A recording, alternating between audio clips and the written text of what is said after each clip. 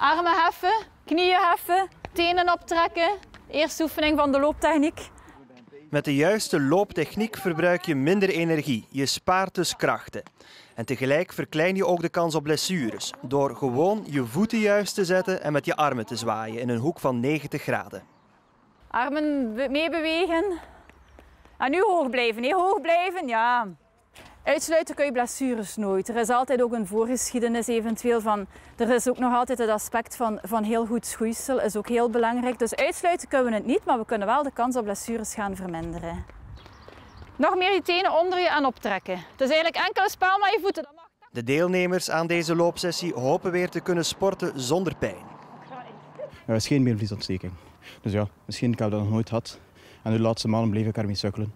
En ik zag deze workshop op het internet en daarmee dat ik dacht, misschien ligt dat aan mijn techniek. Omdat ik eigenlijk al van jongs af last heb van astma, uh, heupproblemen ook. En ik wil wel beginnen met lopen, maar dan wel onder begeleiding. En dat is nu ideaal eigenlijk om van eerst keer de juiste looptechniek, om op een goede manier te beginnen. Een goede looptechniek leer je natuurlijk het best al van jongs af aan, maar eigenlijk is het nooit te laat. Al mag je ook niet overdrijven. Zeker kinderen jonger dan 10 mogen niet te intensief sporten. Soms zie je jonge kinderen ook al krachttraining beginnen doen of zo. Die pezen, dat spierapparaat is daar nog niet voor gemaakt. Een kind dat nog niet volgroeid is, kan gewoon al geen krachttraining doen. Uh, voor blessures is dat zeker niet goed. Hè.